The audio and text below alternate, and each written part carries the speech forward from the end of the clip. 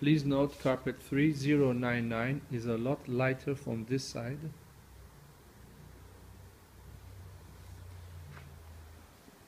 than it is from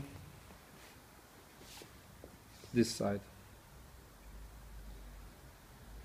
The reason for that is because this wool comes up so from looking at it from different angles it reacts differently to the light. This is not in the camera only, this is in real life.